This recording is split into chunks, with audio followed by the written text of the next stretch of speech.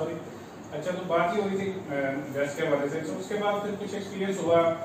कुछ बच्चे आते हैं जी एक तो ये बात हुई कि जी पूछा, बेसिक क्वेश्चन मेरी जो सर्च ये है। मुझसे सर्च के रिलेटेड पूछे हैं। नेवर आंसर लाइक दिस कि मैं तो मैंने कर रहा हूँ। मैं तो न्यूट्रिशन का सर्च कर रहा हूँ, आप मुझसे प्रिजर्वेशन पूछते हैं। कहीं किस डिग्री की बेसिस पे आपको हायर किया जा रहा है? बी एस सी ऑनर्स है एम एस सी ऑनर्स है, उसमें आपने सब कुछ पढ़ा हुआ है। और सबसे पहले तो मैं बच्चों की एडवाइस करता हूँ बेसिक जो बुक्स है वो जो introduction to food science and technology और फ़ूड प्रोसेसिंग प्रिजर्वेशन वो जो थर्ड और फोर्थ सेमेस्टर के कोर्सेज हैं, वो, या वो जो पॉटर की बुक है नॉर्मल एंड पॉटर की फ़ूड साइंस एटलीस्ट ये जो चीज़ें हैं वो एडवांसर की बुक्स होगी या अगर आप बहुत ज़्यादा कोशिश करें, हिम्मत करें तो जो नॉर्मल एंड पॉटर की बुक है, उसको आप अच्छी तरह गो थ्रू हों। ताकि बेसिक्स जो है फ़ूड टेक्नोलॉजी की, वो आपको क्लियर हो, आप उसमें ये आंसर ना करें कि मेरा तो ये है। अच्छा इस तरह समथिंग इस तरह का एक्सपीरियंस हुआ एक बच्चा आ गया पीएचडी स्टूडेंट था।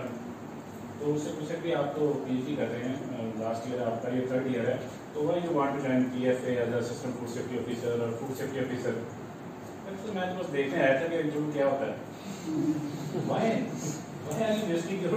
टाइम या दूसरे जो कैंडल्स बाहर गर्मी में बैठे हुए हैं, जिसको पंखा ही लगा होता ना वहाँ पे।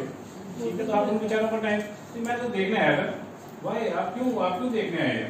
आप अपने से पूछ लीजिएगा यार कोई इंटरव्यू होता उसमें किस तरह के पैसे हुए थे बजाय इसलिए आपको बड़े आए रिलैक्स मोड में और आप बैठ के और दो चार आंसर देखे जब आपसे असल बात पूछी कि यार आपको तो लेवल कैलिबर ज़्यादा है इसमें क्वालिफिकेशन का आप में एकेडमिया में जा सकते हैं, इसका मैं मैंने कौन सा ज्वाइन करना है? तो देखने था क्या होता है? आप किस तरह के क्वेश्चन करते हैं तो इन चीज़ों को तो बी इस तरह टेस्टिंग भी होता है। ठीक है? तो वो बच्चे जाते हैं, वो वो कहेंगे कि वो मैं बस ये एक्सपीरियंस लेने आया था कि आपका कहेंगे मुझे तो फलां जगह से ऑफ़र हो चुकी है, मैं फलां जगह पे जॉब कर रहा हूँ। मैं तो वहाँ पे जो फोर्टी थाउज़ेंड ले रहा हूँ ऑलरेडी मैं तो इधर देखने आया था कि क्या आप इस तरह इंटरव्यू देते हैं।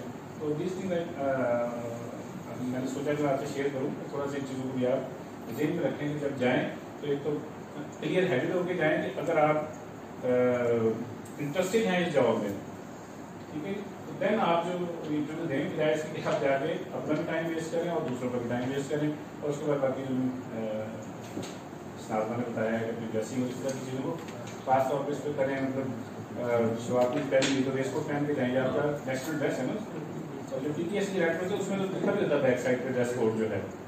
जो प्रॉपर पब्लिक सर्विस मिशन से इशू होते हैं उस पर लिखा होता है ड्रेस कोड और अगर कहीं गवर्नमेंट ऑर्गेनाइजेशन से नहीं लिखा हुआ तो आप आ रहे हैं तो अगर आप शुरुआती में आ रहे हैं, आप कोट पहने सर ठीक है गर्मी है, सर्दी है बहुत सारा दूसरे में है तो।